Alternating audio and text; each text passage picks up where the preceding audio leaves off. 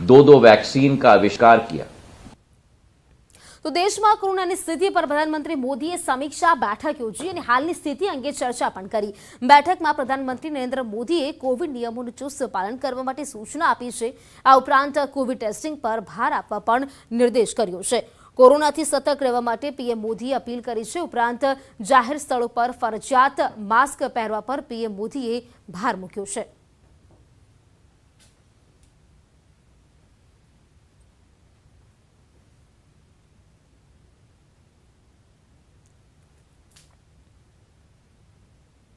કોરોનાના સંભવિત ખતરાને લઈને તંત્ર એલર્ટ મોડ પર જોવા મળ્યું છે. એરપોર્ટ આવતા મુસાફરોનું ટેસ્ટિંગ કરવામાં આવશે.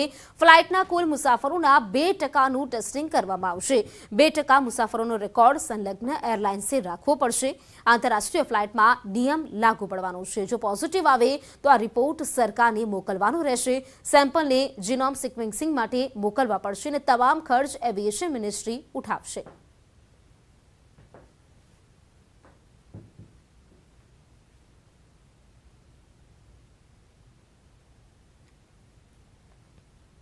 ફરી એકવાર કોરોનાએ દસ્તક દીધી હોય તેમ કોરોનાના કેસમાં વધારો થઈ રહ્યો છે. ત્યારે રાજકોટ જિલ્લાના જેતપુર સિવિલમાં ચાલીસ લાખના ખર્ચે બનેલો ઓક્સિજન પ્લાન્ટ બંધ હાલતમાં છે. અનેક વખત આ પ્લાન્ટ માટે ઉચ્ચ કક્ષાએ રજૂઆત કરવામાં આવી છે, છતાં હજુ સુધી કોઈ કાર્યવાહી કરાઈ નથી. આ આધુનિક ઓક્સિજન પ્લાન્ટ છેલ્લા એક વર્ષથી બંધ હાલતમાં છે. તેની દરકાર લેવામાં ન આવતા અનેક સવાલો ઊભા થયા છે. ત્યારે આ ઓક્સિજન પ્લાન્ટને લઈને જવાબદાર અધિકારીઓ અને કંપનીઓ દ્વારા આ પ્લાન્ટને તાત્કાલિક શરૂ કરવામાં આવે તેવી માંગ કરવામાં આવી છે.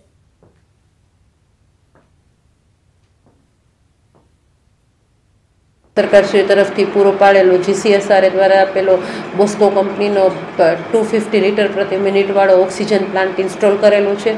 પહેલાં એનું ફ્લોમીટર બ્રેકેજ હતું જે ફ્લોમીટર કંપનીએ બદલાવી આપેલ છે. ઓક્સિજન પ્લાન્ટ વિના વિલંબે તાત્કાલિક ત્વરિત ચાલુ કરાવે. અન્યથા જો કોઈ દર્દીને ઓક્સિજનની જરૂરિયાત હશે અને ઓક્સિજન વગર તેઓ પોતાનો પ્રાણ ગુમાવશે તે માટે જવાબદાર કોણ? દ્વારકામાં કોરોનાના હાહાકાર